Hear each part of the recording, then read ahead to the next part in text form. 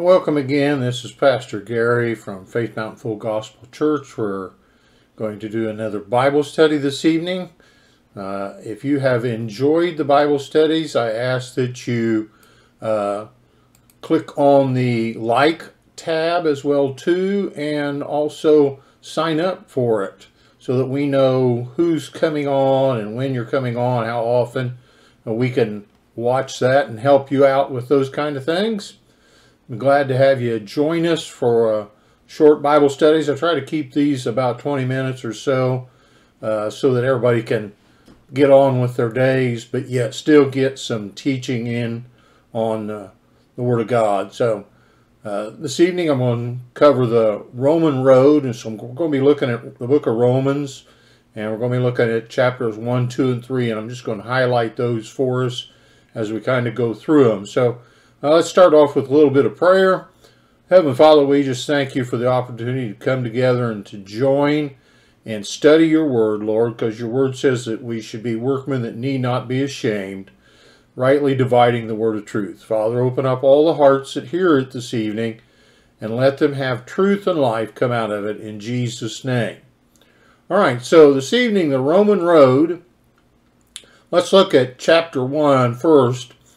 And this is Paul, a servant of Jesus Christ, called to be an apostle. So you can see here he's declaring what he is. And verse 4, it says, And declared to be the Son of God with power according to the Spirit of holiness by the resurrection of the dead. So now he's talking about Christ coming and that he is Lord. And that's real important because if he's not Lord, then he's just like anybody else's leaders in the churches.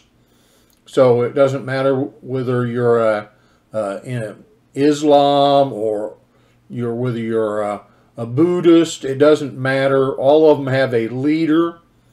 But what sets Christianity apart is that Jesus was declared to be the Son of God, and he showed it by the resurrection from the dead, and none of the others have done that.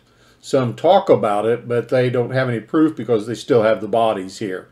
And the body of Christ was not, not in the tomb, but he was resurrected and he showed himself to all the apostles, plus 500 people at one time. So then you can see here, among whom we are also called of Jesus Christ, to all be at Rome, and that's who he was writing the letter to those that were in Rome. And he wanted to win the Romans over because that was, of course, the known world, is what they call it back then. Now, you look at uh, verses 16, and it says, I am not ashamed of the gospel of Christ, for it is the power of God unto salvation, and to everyone that believes, to the Jew first, and also to the Greek. For therein is the righteousness of God revealed from faith to faith, as it is written, the just shall live by faith. So that tells us right there we have to have faith to believe, first off, God is, that He exists, that He sent His Son to die for your sins, that He is the Son of God, and that also that He raised from the dead. So it takes a lot of faith, actually, to believe in, in Christ. But He gave us all kinds of proof so that we can know it and understand it.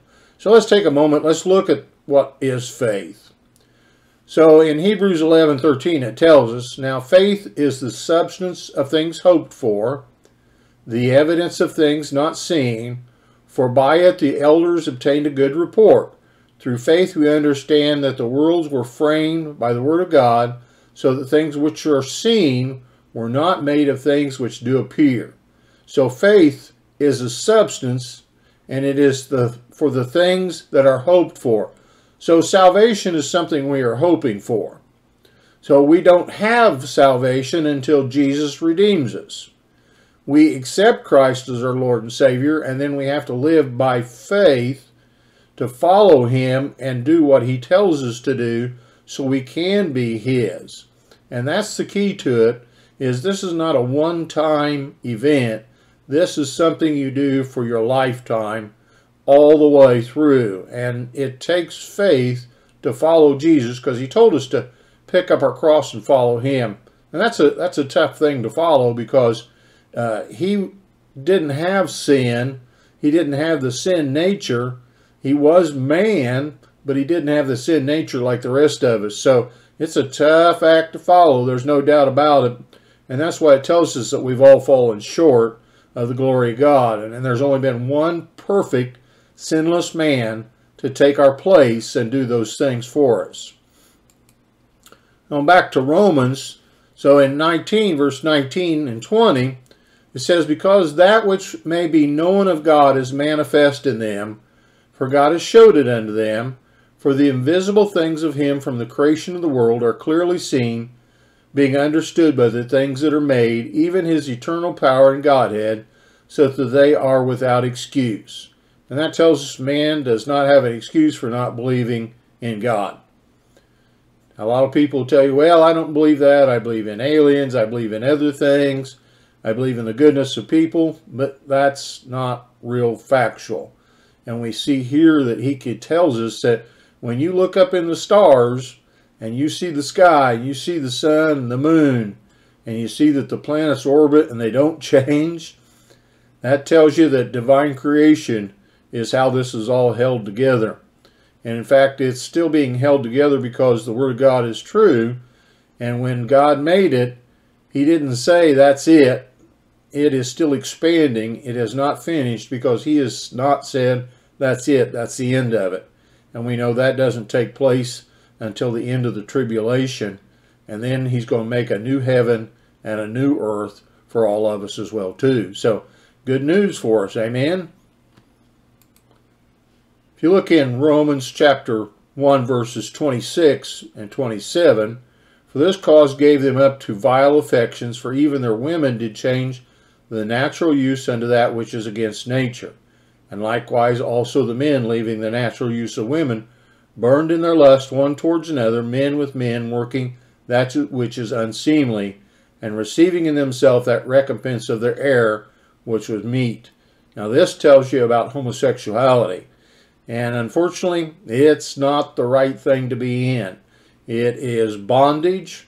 And the good news is you can be delivered from those things. Your sins can be forgiven. And you can start your new life with being right with God and knowing what and where you need to go in your life. And that's a lot of people struggle with that sin. And that sin is no different than any sin. So don't let people judge you differently.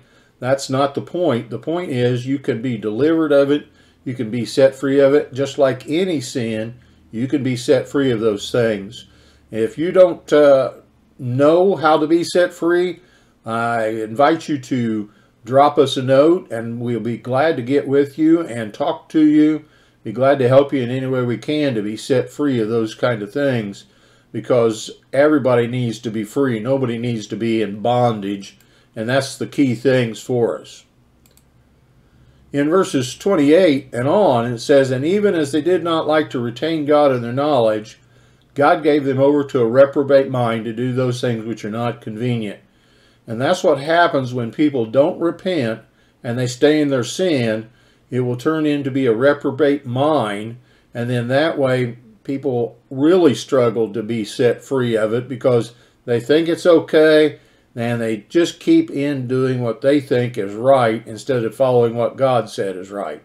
And I feel sorry for folks, but they can be set free. And like I said, we're always glad to help people. Uh, we're part of a deliverance ministry. And, uh, you know, the power of God is to set us free from all those things. It says in verse 29, being filled with all unrighteousness, fornication, wickedness, covetousness, maliciousness, full of envy, murder, debate, deceit, malignity, whisperers, backbiters, haters of God, despiteful, proud, boasters, inventors of evil things, disobedience to parents, without understanding, covenant breakers, without natural affection, implacable, unmerciful, who knowing the judgment of God, that they which commit such things are worthy of death, do not only do the same, but have pleasure in them that do them. That tells you how bad it is. And all of those things there that are listed are sins. And we need to be set free of those kind of things. Lots of people, uh, you know, they go to church, but they'll backbite and they'll murder people with their words. And that's not the thing to do. People need to be set free of that. That comes from envy and spite and hatefulness. And that's not a good thing. That's not what God has promoted in, in Christianity. He promotes to love your neighbor and love your enemy. And that's what we need to do.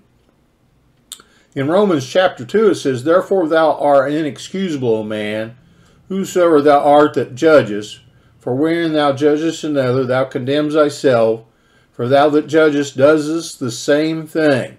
But we are sure that the judgment of God is according to truth against them which commit such things. And thinkest this thou, O man, that judgest them which do such things, and does the same, that thou shalt escape the judgment of God. Now, this is another one people like to jump on the bandwagon and go, Well, you're not supposed to judge me. Well, the Word of God has already judged all of us.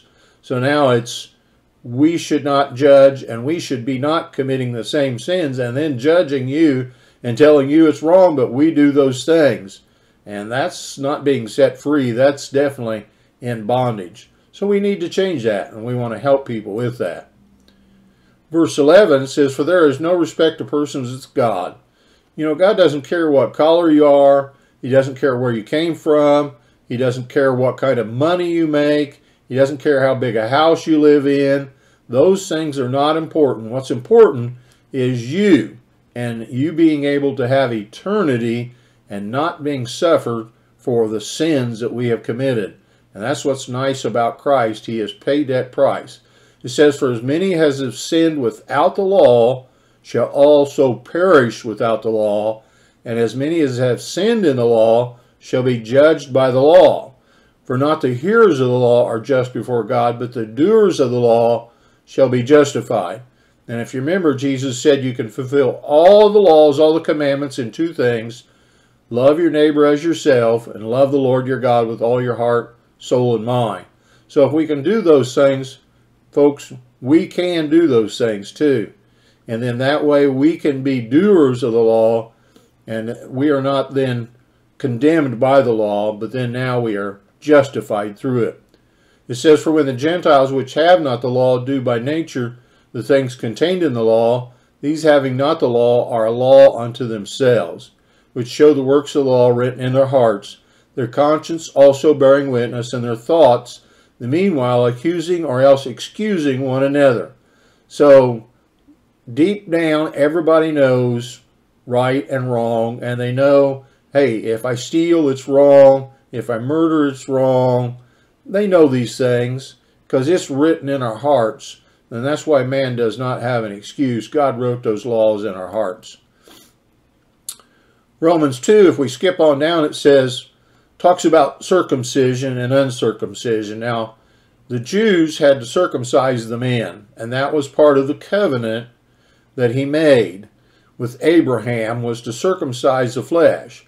But look what he tells us here in verses 28 and 29. For he's not a Jew which is outwardly, neither is that circumcision which is outward in the flesh. He is a Jew which is one inwardly, and circumcision is that of the heart in the spirit, and not in the letter, whose praise is not of men, but of God. You can't do something to earn God's love. God loves you irregardlessly. And that's why Jesus died while you were still yet a sinner, just like you and me. We were sinners. Jesus died for us already before we were that.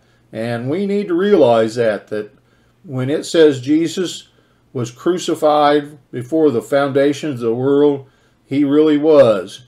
He was put to that point and he was ready to go to the cross before man was even made. He, God knew that they had to redeem us because we would fall strange that man can't realize that as well too.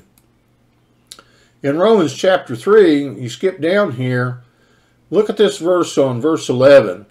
There is none that understand, there is none that seeks after God. They are all gone out the way, they are together become unprofitable. There is none that doeth good, no, not one. So somebody tells you they're good enough to make it to heaven, that's not true. They're not telling you the truth. They're lying to you. No one is good enough, and only by the blood of Jesus Christ can we be accepted and accessible then to be able to approach God with a pure heart and stand in his presence before him without being consumed. Uh, because God is a consuming fire and sin can't be in his presence, so we need to be sinless. And the only way we can be made that way is through Jesus Christ. If you go down to verses 19 through 22, here you can see it talks about the law says, and under the law what happens. But it says in verse 22, even the righteousness of God, which is by faith of Jesus Christ unto all and upon all them that believe, for there's no difference. So again, it doesn't matter if you're a Jew, you're a Gentile, it doesn't matter what country you come from, what faith you started out as, if you will accept Jesus Christ and believe on him, God makes no difference between you and me. He is not impartial in that way. He does not separate us out by race or color or creeds. He treats us all the same. He loves every one of us, and that's what we all need to know. In Romans 3:22 it says, "For all have sinned and come short of the glory of God, being justified freely by his grace through the redemption that is in Christ Jesus, whom God has set forth to be a proportion through faith in his blood, to declare his righteousness for the remissions of sins that are past through the forbearance of God. So here we see it again. Jesus is telling us that we are only justified by him. And lastly, in Romans 3 28 through 31, it says, Therefore we conclude that a man is justified by faith without the deeds of the law. Is he the God of the Jews only? No. Is he also of the Gentiles? Yes. Seeing it is one God which shall justify the circumcision by faith and uncircumcision through faith, do we then make void the law through faith? God forbid. Yea, we establish the law. And like Jesus said, I didn't come to do away with the law, I came to fulfill it. And he fulfilled it by being the pure sacrifice for all of our sins so all of us can be forgiven. I, I want to encourage you to log in and listen to these. You can go to our web page. Uh, you can also go to YouTube and watch us also. You can go to faithmountainfullgospelchurch.com and you can have a link right there. You can also leave us comments on that. If you've got questions or comments, uh, I check that every week so I can get back to you. Make sure you leave me an email account or a place to respond, a phone number, and I'd be glad to get in touch with you and help you out in any way I can because everybody deserves to be saved. Everybody deserves to be free from bondage, and nobody needs to suffer like that. Sin was the death penalty that we got because of what Adam and Eve did in the garden. And just because they did that doesn't mean we can't get free of it. We truly can be. And that's the great thing of being with Jesus Christ is he sets the captives free. Thanks. I hope you enjoy this study. We'll continue on with Romans and we'll continue on in chapter 4, 5, and 6 next week. Thanks for listening.